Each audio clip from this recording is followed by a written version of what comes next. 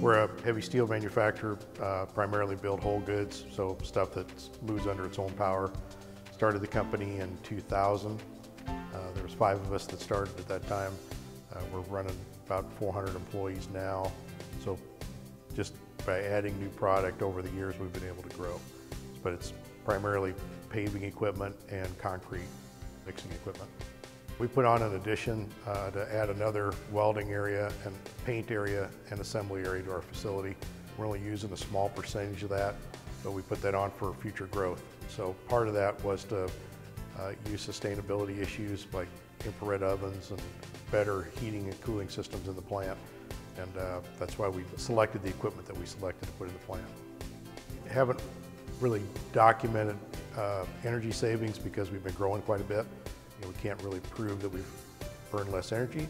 Although if you look at our energy bill compared to volume, we are using less energy per sale. So it's logical to assume that, that the stuff has been more efficient than we had in the past. And the other side of that is just more throughput. We've got more productivity gains out of using the infrared ovens. And working with Alliant went pretty good actually. So we got our, we were uh, doing the selection, component selection at the time. We submitted to Alliant Energy and asked if they could help us uh, justify the higher efficiency parts.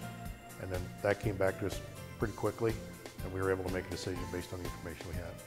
For what we do, energy is not the primary cost factor because we, we buy and sell so much large engines and hydraulics and stuff like that that it's not a driver of the business.